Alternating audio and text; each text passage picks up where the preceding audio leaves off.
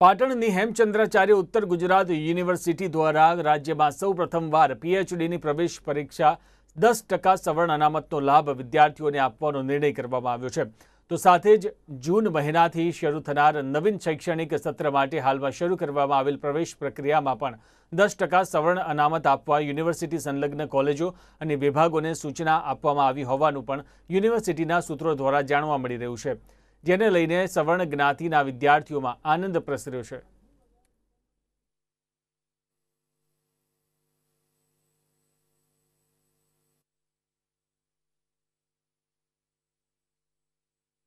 ઉત્તર ગુજરાત યુનિવર્સિટીએ કેન્દ્ર સરકાર અને રાજ્ય સરકારે જે દસ ટકા સવર્ણો માટે અનામતની જાહેરાત કરી તે મુજબ અને સરકારના ધારાધોરણો મુજબ આપણે અનામતની જોગવાઈ પ્રવેશના નિયમોમાં, એડમિશનમાં એટલે કે અને પ્રવેશ જે ઇન્ટરવ્યૂ કરીને જગ્યાઓ ભરવાની છે, એમાં અમલ કરવાની શરૂઆત કરી દીધી છે.